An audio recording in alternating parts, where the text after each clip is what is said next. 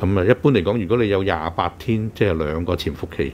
都冇本地個案，特別係冇源頭不明個案，咁基本上暫時嗰個本地傳播鏈係斷咗嘅。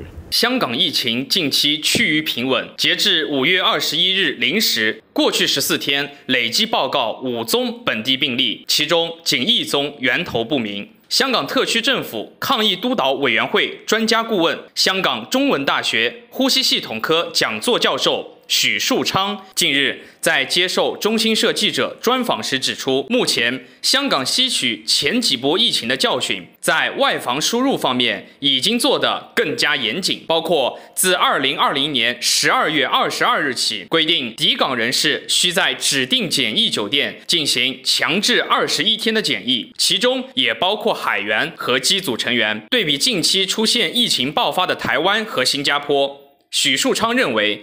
上述兩地出現疫情爆發，主要原因正是外防輸入有漏洞所致。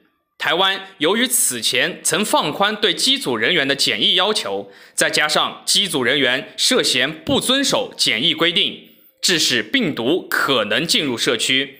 新加坡亦是由於在機場防疫方面出現漏洞，而使疫情再度出現爆發。嗱，最近呢，就誒、呃、台灣同埋新加坡。都有突然間爆發出現，咁主要呢都係嗰個外防輸入係有漏洞。咁呢個呢兩個地方都反映到呢，就係就算你兩個地方都曾經一段時間係控制得好好，當你社區未建立到一個免疫屏障，再加埋外來輸入嘅病毒呢，仍然係可以引起一個好大嘅爆發，係可以好短時間出現嘅。咁所以香港呢都係要。以此為鑑，我哋而家近排嘅外防輸入就相對做得比較係嚴謹，但係我哋本地個接種率都係偏低嘅。許樹昌表示，香港本地疫苗接種率目前僅有不到百分之二十，比例仍然偏低，距離建立免疫屏障還有很長的距離。香港特區政府正在通過更多方法，讓市民明白。打疫苗是目前最有效保護自己和他人的方法。政府購入嘅疫苗係足以俾全民去接種。好，世界好多地方其實都仲爭購緊疫苗嘅。咁我哋係好幸運。咁而家而家醫管局裏邊亦都開始有啲數據分析，已經係睇到注射咗疫苗之後唔會增加你患冠心病。心肌梗塞、中風甚至乎死亡嘅風險，咁所以我相信呢，就醫管局要每個星期都要更新呢啲數字，令啲市民可以又做一個參考咯。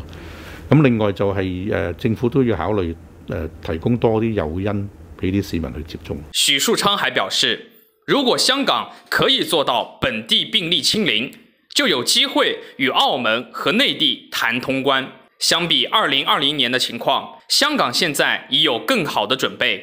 並儲備有足夠的負氣壓病房、病床及足夠全港人口接種的疫苗，已經比世界上很多地方都幸運。